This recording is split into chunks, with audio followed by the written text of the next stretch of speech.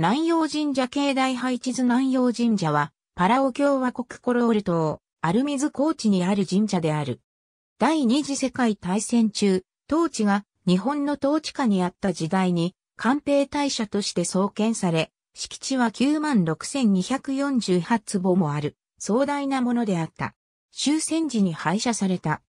1922年の南洋町統治が始まってから15年以上が経過し、南洋群島各地に民間有志による神社が創建されたが、南洋町所在地のコロールには神社が一つもなかった。そこで南洋町では南洋群島総鎮守たる神社を紀元2600年記念事業の一環としてコロール島に創建することになった。1937年により土地の選定が進められ、その結果コロール町郊外のアルミズ高地に創建することに決定した。1938年1月より約2年かけて工事が行われた。本殿は神明作り、大鳥作りを基調とする南洋群島の風土に適した様式とし、木材は南洋群島各地から取り寄せることになった。石材は幸いにも、整地の際に良質な安山岩が大量に発見されたため、これを使うことになった。また、関係諸団体から勤労奉仕の申し出が相次ぎ、積極的に受け入れた。その他、運輸業者は、資材搬入のための運賃一部免除、電気設備業者の電気設備の寄付なども行われた。そして、1940年2月に、アマテラス大臣を祀る、官兵大社として指定され、同年11月1日、お玉城を捧げ持つ直使、伊藤博士成功爵を迎えて、粛々と鎮座祭が取り行われた。第二次世界大戦末期、連日の空襲を避けるため、1944年11月22日にパラオ本島のジャングルの中に仮本殿を設置し、ご神体を先座。翌1945年5月17日の空襲時の資金弾で、コロールの本殿は大破するが、日本軍が修復を行い、外形が復元したところで終戦を迎える。1945年9月11日、米国の了解の下で、捧ぐ焼き式が行われ、日本側の手で、コロールの社殿が捧ぐ焼きされた。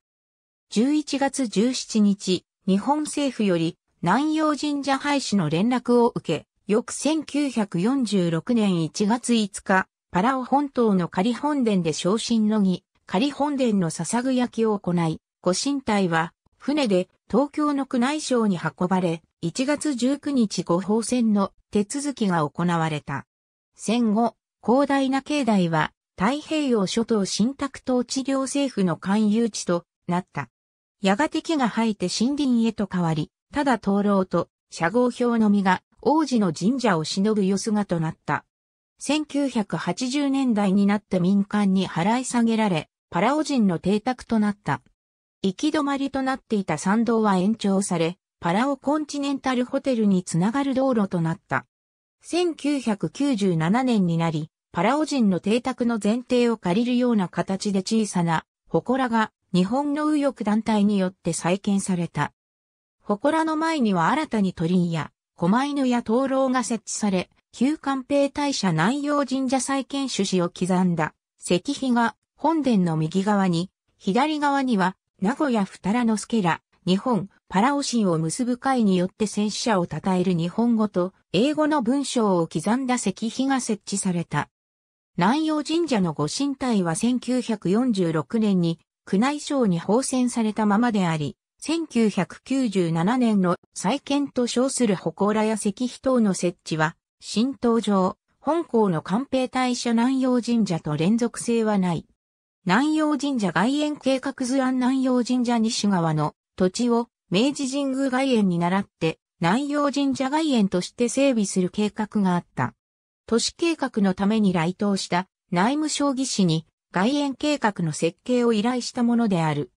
この計画によれば、南洋神社西側の山を削り、海面や谷間を埋めて平地を形成し、そこに各種施設を設けるというものであった。しかし、多額の経費を要したため、実際には建設されることはなかった。旧官兵大社南陽神社鎮座跡地用拝殿、埼玉県越谷市の旧一神社には、南陽神社を忍び、南陽群島で戦没した日本軍将兵の慰霊のため、平成16年に旧官兵大社南陽神社鎮座跡地用拝殿が建立された。